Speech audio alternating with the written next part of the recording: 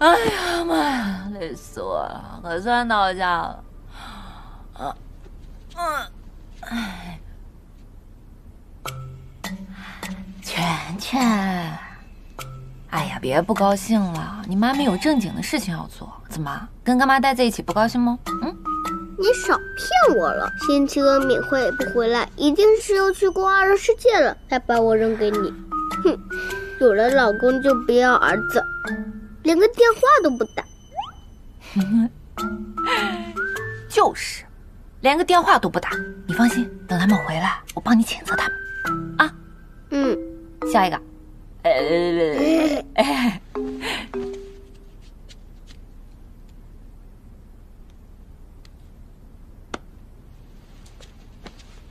干妈，你也在等你妈咪给你打电话吗？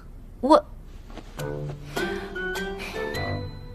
我才没有等那个没良心的打电话给我，干脆别回来。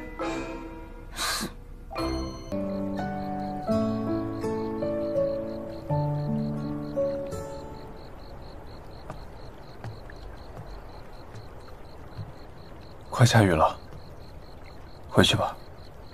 如果今天我们没有找到江生，或者江生也证明不了我的清白，你要怎么办？明慧。事情已经说清楚了，你能不能不要再用这样的态度和我说话？我用什么态度跟你讲话是我的自由。你有怨气，你有不满，就冲我发出来。只要你能消气。我一开始是挺委屈的，但是现在不重要了。我很理解陈家俊一开始那种愤怒，他其实是一种无助。他面对这样的事情，他无能为力的一种无助。